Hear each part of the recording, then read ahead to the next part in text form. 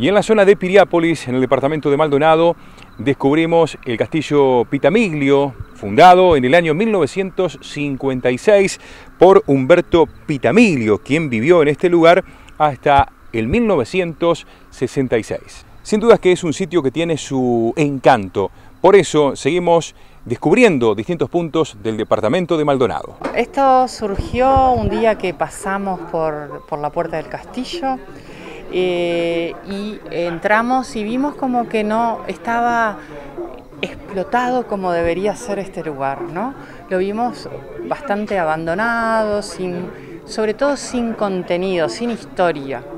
Eh, yo trabajo para una empresa, Subito Red Desarrollo, que es un estudio de diseño de museografía. Tenemos un estudio en Madrid hace 30 años y hace 7 que estamos aquí en Uruguay.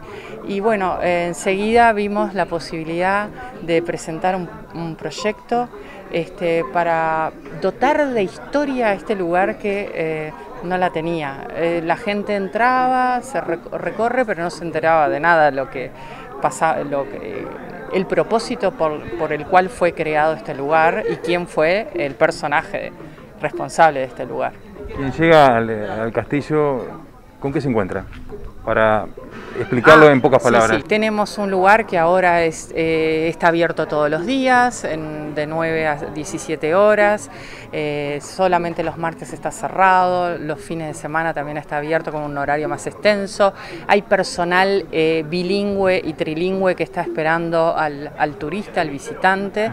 Eh, el museo que está eh, dotado de toda la multimedia con distintos medios como para contar la historia, distintos recursos museográficos para contar la historia.